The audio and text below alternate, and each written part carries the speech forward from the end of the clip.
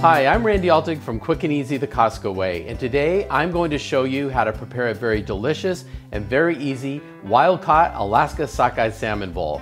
I was inspired by this dish on a trip I took to Tokyo a few years back, and how the culture embraces healthy eating and meals in a bowl, particularly bowls using fish. So let's get started. So in a small bowl, we'll add in our mirin, our sake, red miso paste. Now this is what really starts to help round out the flavor. Put in our low sodium soy sauce, honey, and ground ginger. It's perfect. We'll go ahead and set that aside. Alaska Seafood provides Costco with two options, both the refresh filet that looks like this and the frozen. Now today, I'm using the individual portions, and I've already thawed these according to package directions. I've already lined a baking pan with foil and lightly sprayed it with vegetable oil, so I'll go ahead and set that aside. I've also rinsed and patted dry my salmon fillets, and look at these beautiful red wild-caught Alaska sockeye salmon fillets. Now I'm going to show you how to score the fish. We'll go ahead and we'll lay our salmon fillets flesh side up on our cutting board, and using a sharp knife, will make diagonal cuts that are about an inch apart. And generally on these fillets, you can get two to three diagonal cuts. And the reason this is important is because it's going to help to really infuse the marinade when we start that process.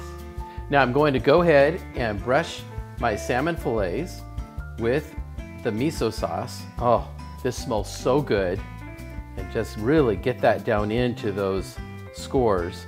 Then next we'll go ahead and put that into our plastic bag, which we're going to use as our marinade bag. And once those are in, I'm going to place two more tablespoons of my miso sauce over the filet, just like that. Seal the bag up, put it in the refrigerator for an hour while that sets. And then don't forget, do not throw out the remaining miso sauce because we're gonna use that as a fabulous drizzle on the bowls just before we serve. So we're ready to bake. We'll take our salmon and we'll place it in the oven on the middle rack for 8 to 12 minutes until the internal temperature reaches 145. And start checking your salmon at the 5 minute mark. Now you will know when the salmon is close to being done because it'll be opaque in the center and it will flake very, very easily. Now I've already cooked my rice, so while my salmon is cooking, I'm going to start building my bowls and taking this wonderful rice and start putting it in. Then once I have my rice in there, I'll go ahead and top that off with some avocado and just break these pieces up, these cubes up, and then we'll go ahead and we'll set these aside so we can make some room for our salmon as soon as it comes out of the oven. Mm, the salmon is out of the oven and it's beautifully cooked. So we'll go ahead, take our spatula, and we'll remove it onto our cutting board so that we can start to prepare it. So even though today I've chosen to remove the skin, it is perfectly fine to eat.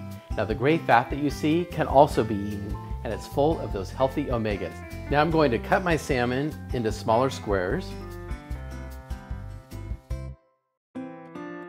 Now we'll place our salmon on top of our bowls. Now when you're doing this, don't worry about having your salmon in any one place on here. And then next, I'll add in my crispy onions, which have a little bit of seasoning on them. We'll next take our crispy beets. I love these because they add a beautiful color to the bowl. And then of course, you have to add some of these wonderful sesame seeds. Once we have those on, we're gonna top each bowl with a drizzle of that reserved miso that I told you to hold on to earlier. And you can be liberal with this because remember, not only are we adding the flavor, but we want to get down into our rice. And I hope that you enjoy watching today's sockeye salmon tumi bowl recipe and learning about why Alaska wild-caught sockeye salmon should be a staple in everyone's diet. From Quick and Easy and me, enjoy. Quick and easy, the Costco way.